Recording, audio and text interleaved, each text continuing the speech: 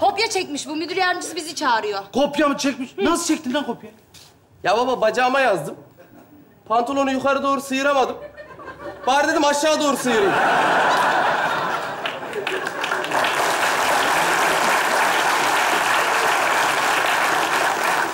Aşağı doğru sıyırınca müdür de dedi ki ne yapıyorsun lan sen gerizekalı bilmem ne aldı beni götürdü odaya işte. Salak mısın oğlum sen? Sen salak mısın ya? Niye etek giymiyorsun?